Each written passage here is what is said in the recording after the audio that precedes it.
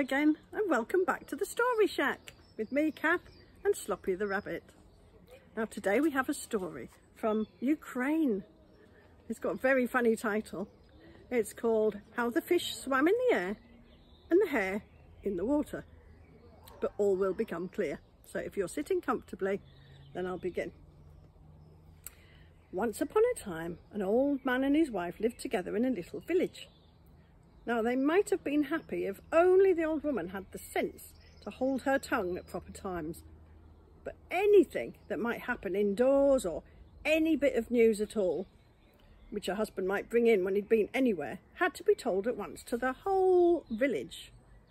And these tales were repeated and repeated and altered until it often happened that much mischief was made and the old man's back paid for it. One day, he drove to the forest, and when he reached the edge of it, he got out of his cart and he walked along beside it. And suddenly, he stepped on such a soft spot that his foot sank into the earth. Oh, what could this be? he thought. I'll dig a little bit and see. So he dug and he dug and he dug, and at last he came to a little pot. And in that little pot, it was full of silver and gold. Luck! Now, if only I knew how I could take this treasure home with me. I can't hope to hide it from my wife. Once she knows, she'll tell the whole world about it, and then I'll get into trouble again. So he sat down and he thought over the matter for a very long time, and at last he made a plan. He covered up the pot again with earth and twigs, and he drove on into the town, where he bought a live pike fish and a live hare in the market.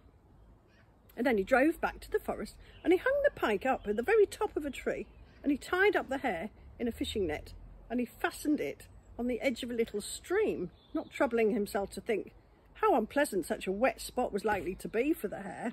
But anyway, then he got into his cart and he trotted merrily home. Wife, wifey, cried he, the moment he got indoors. You can't think what a piece of good luck has just come our way. What? What, dear husband? Do tell me all about it at once. Oh, no, no, no, you'll just go off and tell everyone. no, no, no, I won't. No, no, how could you think such a thing? For shame. If you like, I'll swear never to... Oh, well, if you really want me to tell you then. Okay, well, now listen. And he whispered in her ear.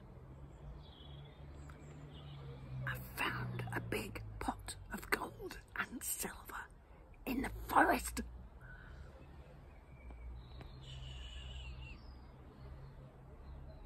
Uh, so why didn't you bring it back? Well, because we'll drive there together and we'll bring it carefully back between us. It's so big, I couldn't carry it by myself. So the man and his wife drove off to the forest. As they were driving along, the man said, Oh, what strange things you hear, you know. I was told only the other day that fish will now live and thrive in the treetops and that some wild animals spend their time in the water. well, well, times are certainly changing. Oh, you must be crazy, husband. Dear, dear, what nonsense people do talk sometimes. Who have you been listening to, anyway? Nonsense indeed. Why, just look, bless my soul, if there isn't a fish there's a real pike, I do believe, up in that tree. Look. Good gracious, cried his wife. How did a pike get there? It is a pike. You needn't attempt to say it's not. Can people have said the truth? But the man only shook his head and shrugged his shoulders and opened his mouth and gaped as if he really couldn't believe his own eyes. So, what are you standing staring at there, stupid? said his wife. Climb up the tree quick and catch the pike and we'll cook it for dinner. So the man climbed up the tree and he brought down the pike and they drove along. When they got to the stream, he drew up the cart. Oh, now what are you staring at again? asked his wife impatiently. Drive on, can't you?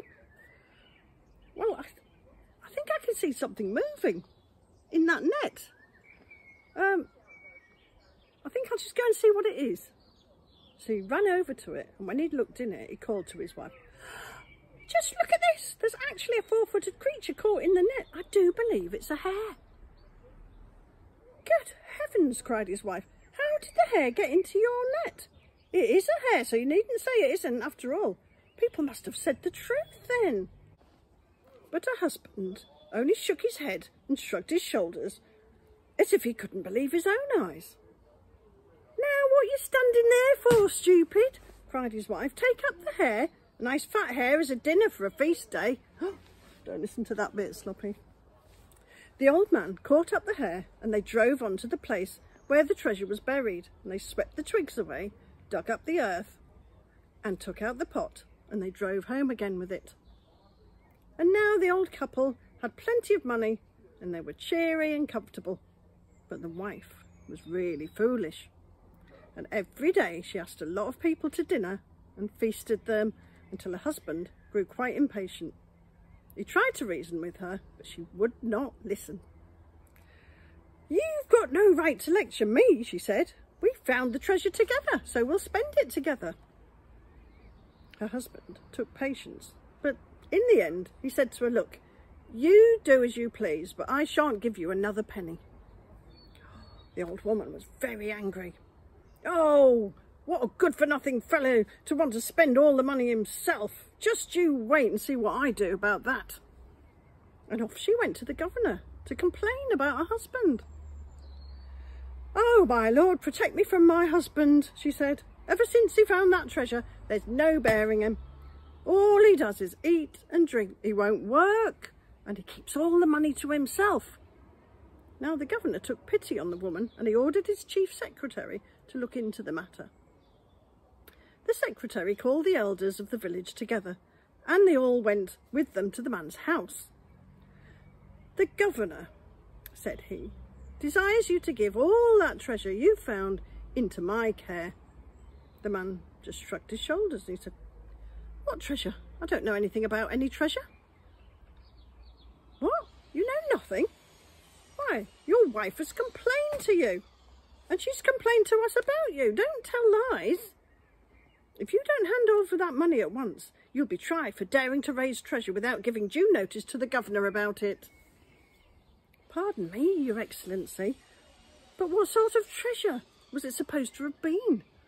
My wife must have dreamt about it, and you gentlemen have just listened to her nonsense, I'm afraid. Nonsense indeed, broke in the wife.